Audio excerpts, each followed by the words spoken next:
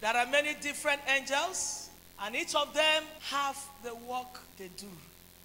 We have the cherubims, which in hierarchy of the angels, they are the first in the class of the angels. Then we have the seraphims. There is angels that are sent to guide the children. This angel, their duty is to do what?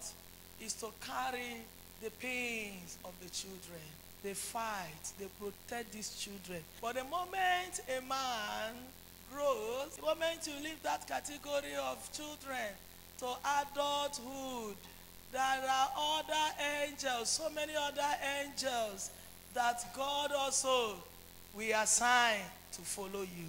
And if you don't know how to command these angels, you may not be able to enjoy the fruits of their ministry.